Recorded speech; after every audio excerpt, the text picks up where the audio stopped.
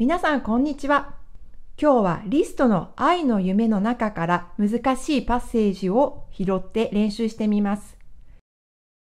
このようなエクササイズ動画に興味がありましたら、ぜひいいねボタンとチャンネル登録をよろしくお願いします。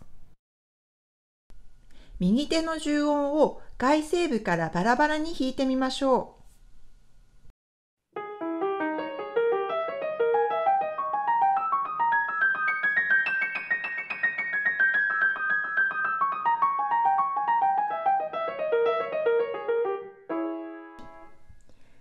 今のエクササイズで練習した右手を左手と一緒に合わせてみましょう。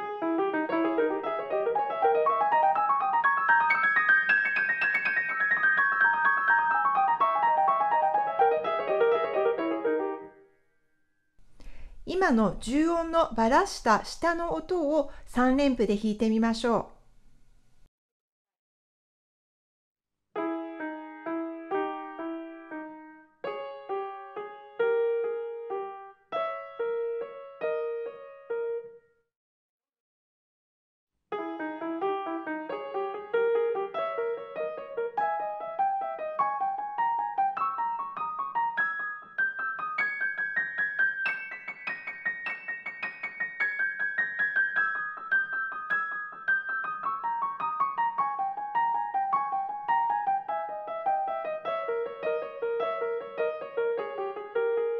今練習した右手を左手と一緒に合わせてみましょう。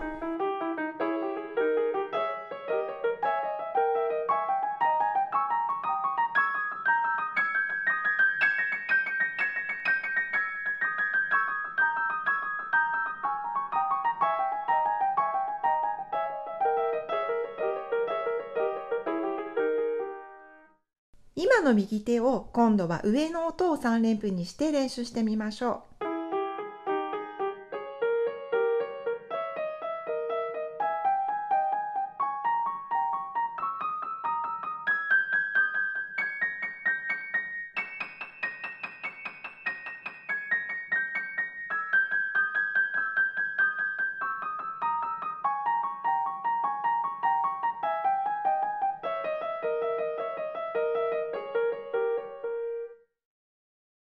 今の3連符を今度はリズムを変えてタンタタタンタタというリズムで弾いてみましょう。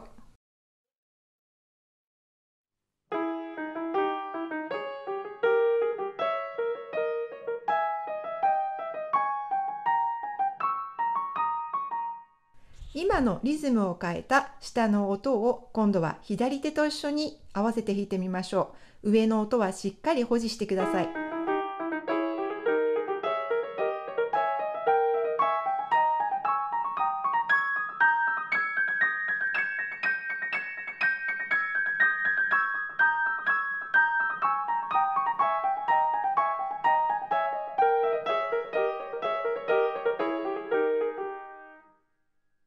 最後のところはこのように楽譜通り弾いても構いませんが右手で最初の乱れを取って左手で次の味噌汁を取ってこのように弾いても構いません。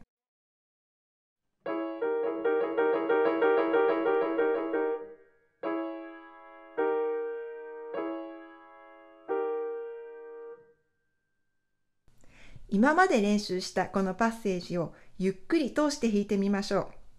次に通常通りのテンポで弾いてみます。